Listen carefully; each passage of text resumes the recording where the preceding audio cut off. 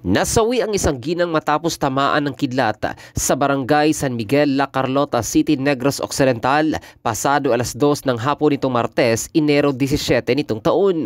Kinilala ang biktima na isang Elizabeth Arevalo, 65 anyos, may asawa na residente ng Purok Santan sa nabanggit na barangay. Batay sa ulat mula sa pulisya, papauwi na sana ang grupo ng biktima mula sa pagtatanim nang biglang umulan at kumidlat at tinamaan ang ng ginang. Natumba ang biktima sa lupa kaya agad humingi ng saklolo ang mga kasamahan. Dinala ng mga kasapi ng rescue team sa Don Salvador Benedicto Memorial District Hospital ang biktima subalit hindi na ito umabot ng buhay.